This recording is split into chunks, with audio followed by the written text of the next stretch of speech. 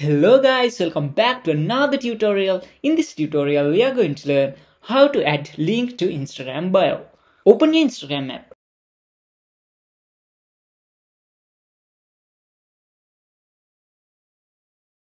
Then here tap on edit profile to edit your profile details.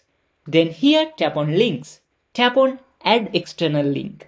Here we can add any external link and we can also give a title to our link. After adding a link and title, tap on Done to save the changes.